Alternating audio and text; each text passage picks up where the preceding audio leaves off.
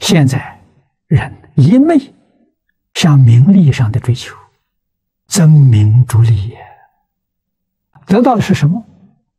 纵然得到了，苦不堪言，患得患失。没有得到的时候想得到，得到的时候又怕丢掉，他心怎么会安呢？不可能安嘛，那心不清净嘛，会安的。你这种人过一辈子多苦啊！所以佛。圣人教导我们的方法啊，我们想救这个社会，救这个世界，救这个地球啊，什么方法呢？讲经教学啊，还是这一句老话，越想越有道理啊。现在人一昧向名利上的追求。啊，争名逐利也！啊，得到的是什么？纵然得到了，苦不堪言，患得患失。没有得到的时候想得到，得到的时候又怕丢掉，他心怎么会安呢？不可能安嘛！那心不清净嘛，不会安的。你这种人过一辈子多苦啊！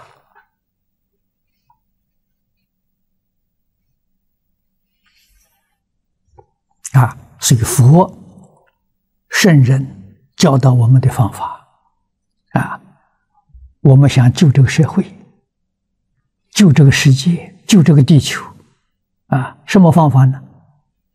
讲经教学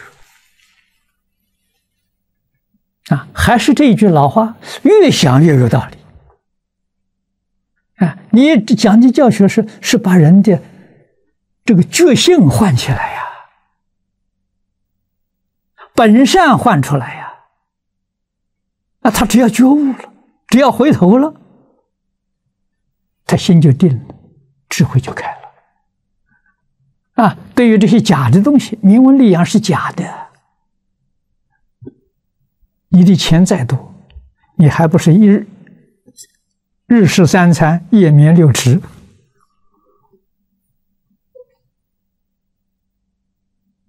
如果了解事实真相，你追求那个干什么？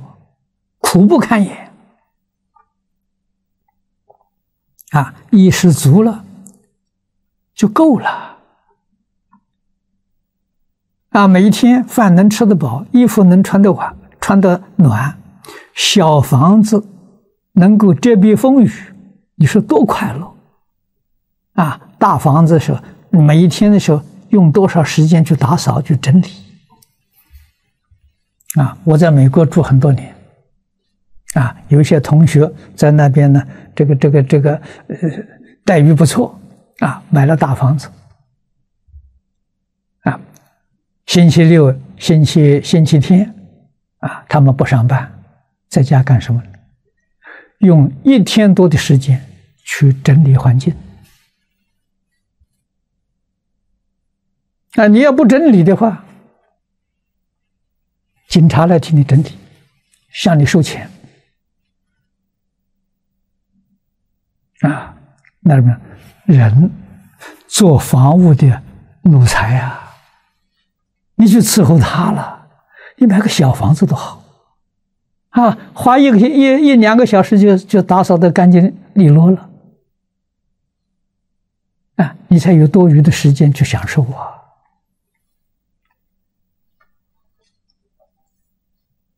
啊，中国人会过日子啊！啊，真正读书人、高人啊，农村里头搭个小茅棚，舒服极了。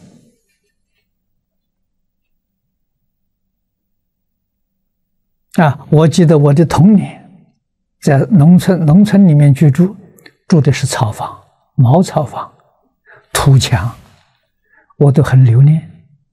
啊，这种房屋。你瞧，看不上眼，茅棚，冬暖夏凉，很舒服。它墙很厚，啊，那个墙差不多有一两尺厚，啊，土墙，啊，盖的这个茅草盖的很厚，啊，确实冬暖夏凉。它冬天这个这个这个冷气进不去，啊，住的舒服啊！啊，这钢筋水泥的房子是好看的，但实实在在讲，没有中国那种那个小茅棚啊养人。你住在那个地方的人，真是心地清净、长寿啊！啊，现在人讲磁场不一样啊！哎，像一个大楼住多少人，那磁场很混乱了，很复杂了。啊，那农村里头，你这个小茅棚附近都都没有人，很远才有人家，那怎么会一样啊？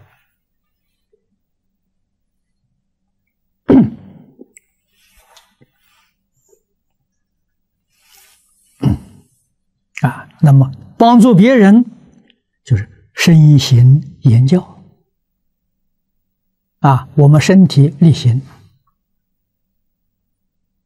啊，把古圣先贤的教训真正落实在生活，落实在工作，落实在处事在人接物，真的学问呐。啊，把经典里面的道理变成自己的思想见解，的境界提升了。啊，你 Thô Phở A Ni Thô Phở A